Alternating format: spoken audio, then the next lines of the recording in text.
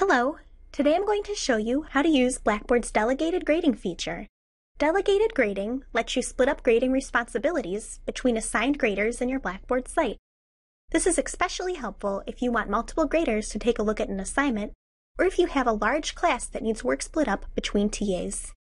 To begin, we'll need to set up delegated grading on a Blackboard assignment. Enter into your Blackboard site, then enter into the area where you wish to place the assignment. Once in the content area, click on the Assessments button and then select Assignment. Enter in your assignment information.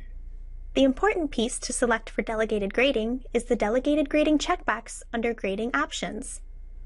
Once you click on this option, you will be asked to select the grader users. Anyone who is an instructor, teaching assistant, or grader in your course will be listed. Use the drop-down menu to select what submissions they should grade for this assignment. All submissions will assign them to grade all students. Random Set will assign them to grade a subset of all submissions.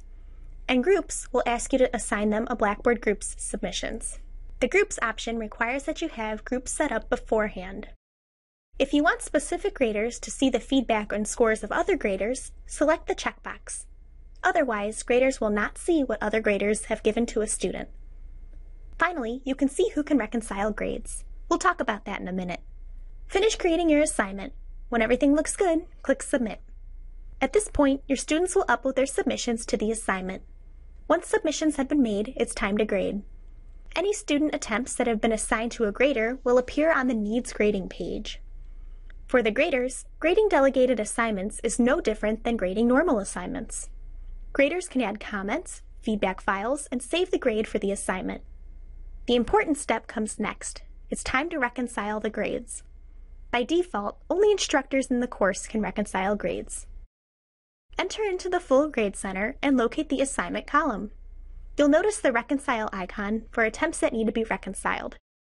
Click on the arrow at the top of the column and select Reconcile Grades.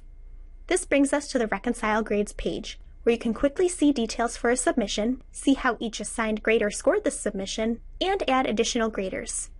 You can also see the status of your graders by clicking on the Show Grader Progress button. To reconcile a grade, click on the blue Reconcile button and either select a grade or enter a new one. Once you've entered a grade, it will save itself to the Grade Center and will become visible to the student.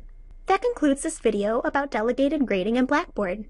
If you have any questions or concerns, please contact the service desk at 368 HELP or at help.case.edu. Thanks for watching!